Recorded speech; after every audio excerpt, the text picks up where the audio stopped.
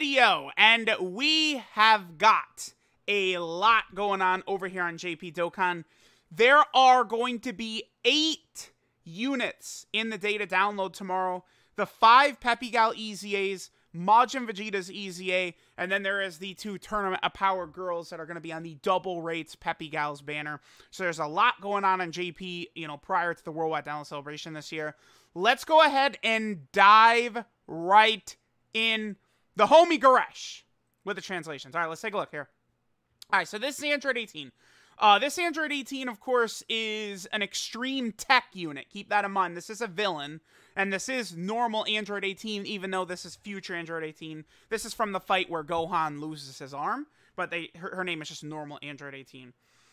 So 18% attack and defense per Peppy Gal category L in the team. Oh. And then 18% per ki sphere obtained. So it's and then it's, it becomes 20%. No, no, oh, it keeps going. Oh, wait, what? Okay. She is going to be doing a lot of damage and having a lot of defense. Because uh, what is it in total? So she's going to be at 25% attack and defense per ki sphere obtained with this, with this, and ceiling? What the fuck? okay. Uh, on the Peppy Gals team, the Android 18 is going to be crazy. Uh, I'm just, I'm I'm curious real fast. Uh, let me pull up what are her stats going to be. Let me take a look here. So she's going to be at her stats are very low. Easy aid. These are pretty low. Her attack is not the craziest. Her defense is not the craziest. She seems Android 18 seems pretty interesting. I mean, the seal six turns for this. I mean, uh, yeah, yeah, that's pretty good. Okay. Uh, next we have AGL Mai. Um, keep in mind, by the way, that all of these girls are all like on like new category Super Battle Road stages and Extreme Super Battle Road stages and all this shit. So that's gonna be um interesting to see. So she's 100% attack and defense start a turn. All allies three ki, so that's automatically good. I like that. Um, and then AGL allies get 20% attack and defense, pointless. Peppy Gal category allies get 30% attack and defense, and 15% chance to crit. Ah, and then the strongest effect in the game, the strongest ability in the game, the Scouter effect, but she only gets it when HP's 50% or below, but that still can make her very good for like Super Battle Road runs and stuff like that. Greatly raises attack and defense one turn, supreme damage, and a great chance to stun. Actually, this Mai is going to be insane for like the future extreme category Super Battle Road stage. Um, if I had not already no item that this girl would be on my team ASAP because giving all allies three ki is still pretty damn good, even if she's not giving a buff to them all. Um, and then she's doing this, so her you know her stats should be okay. Well, let me let me see. What are what are her stats? I assume they're gonna be low, like Android 18s are. Yeah, that's that's pretty low. Her defense is solid though. With the 50% raise, I think Mai could be pretty good. Again, 70% chance to stun three ki. Mai seems solid. I think Android 18 is better, but Mai seems solid.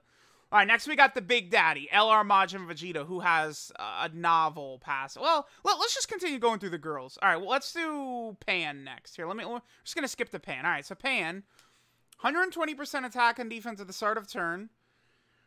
Gain a 15% chance to evade enemy attacks at the start of every turn. So she's like Dispo, up to a max of 60%. Three ki, an additional 120% defense for seven turns from first appearance raise attack and defense by 30% for six turns. What is Pan's defensive stat? Just a little bit under 10,000, huh?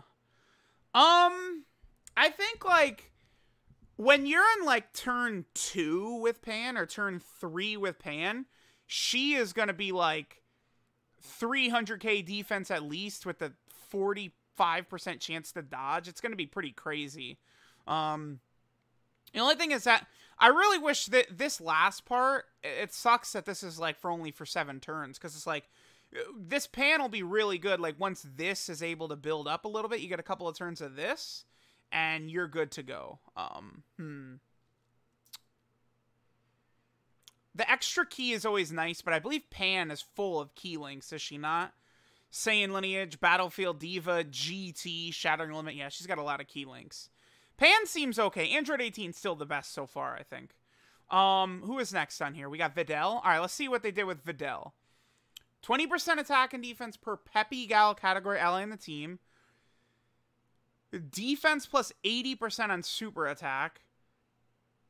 Attacked enemies attack and defense minus 20% in two turns, recover 20% of damage on his health. Stacks attack, lowers attack. She's okay. I don't. Videl doesn't. Videl seems the worst of the batch to me, honestly. Which I guess doesn't matter because there's. It's an inconceivable that she's going to be better than the Dokkan Fest Videl. Yeah, I don't. This Visfidel doesn't look too crazy to me. I mean, I'm, I'm, sure they'll all be good, but she's not looking crazy. All right, Bulma. Okay, Bulma, this will be interesting because the LR Kid Goku and Bulma are like secretly like one of the best like you, honestly you could say units in the game, but they have to be run on these really bad teams and a Bulma is needed to make them look exceptional. So if this Bulma's super good, that'll be really good. Okay. So she gets 4 ki at the start of turn. That's good. That's actually very good. 100% attack and defense as well. Another 50% attack and defense on super.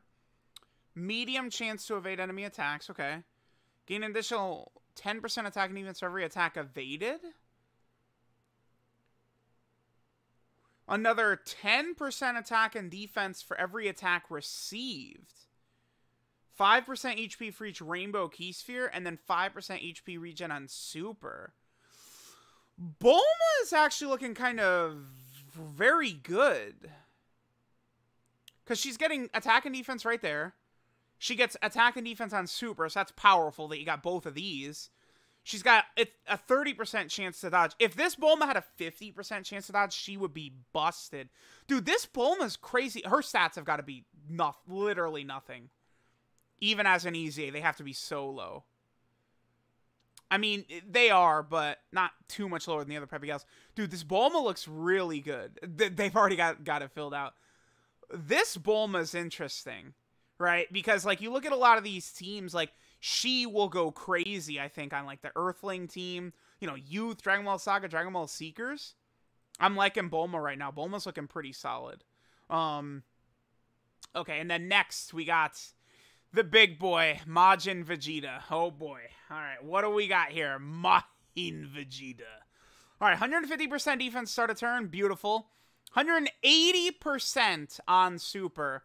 So they did give him extra damage. He was at 150% before. Yeah. So they did give him extra damage. Gain 2 ki and 20% damage reduction if there's a character on the team whose name includes Bulma.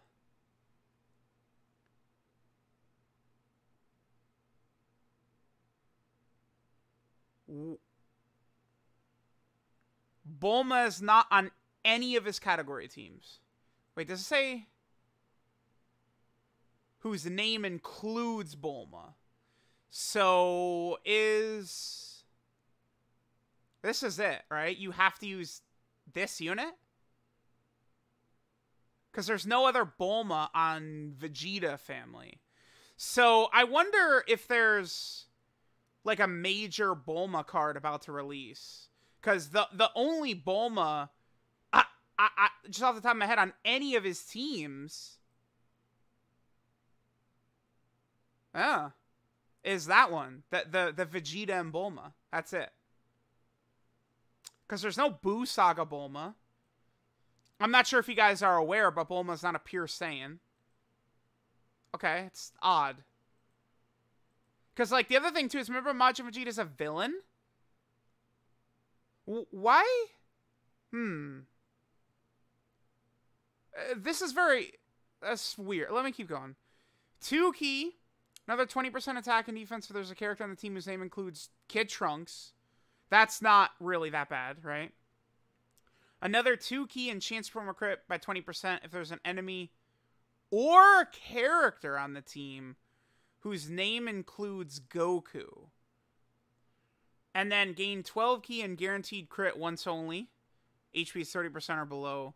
Raise attack for one turn, medium chance to stun. Attack for one turn, medium chance to stun. Well, kids, um, I've got some bad news and I've got some bad news. Uh, Majin Vegeta looks like he's improved for sure. He's going to be a good unit on a lot of teams, but this is definitely I don't know what they were thinking with Broly, but like this is this is an LR int Gohan right here. Do they have his details on here already? Yeah, they do. Um I mean, this is a lot, right? It's just all these like weird restrictions. I don't know. We have to be getting a new Bulma. We have to. Because literally the only way you could use this. Because this is crazy. This is interesting. Because I feel like his defense will be good. Because what is his. De- yeah, he's got 15,000 defense with 150% defense at the start of turn. Reasonable. You'd have a kid Trunks in the team. You get another little bit attack and defense right there, right? Interesting. The only thing too, right? Well, I mean, I don't know. If you guess if you're getting two ki, two ki, two ki, that's only six ki. So you're still going to be comfortably below the 18 ki threshold. I don't know with I think Majin Vegeta for the next couple of months is going to perform at a very high level, but he could age rapidly if they continue the um power creep because like we saw this with in LR Gohan, right? Where he is really good right now, but I feel like he's going to age very fast. Um, the difference between Vegeta and Gohan, though, is they did give Vegeta extra damage. He didn't raise attack on super attack either. No, he did not. So, I don't know. Between this and this, I don't know, man. I, I he's gonna be shooting out like six million attack stats very easily. I think he's gonna be pretty good, Majin Vegeta. It's just like you look at all this sort of like there's just a lot of garbage in here, like muddling it up, right? Um, it's gonna be very easy to activate this giving him a little extra ki and a 20% chance to crit. I do not know with this Majin Vegeta where he stands. I could see this guy end ended up being in like the top 10 units in the game though. I think it's conceivable. The other thing about Majin Vegeta, you do have to point out is his presence on like so many teams and like a lot of teams that really need help as well.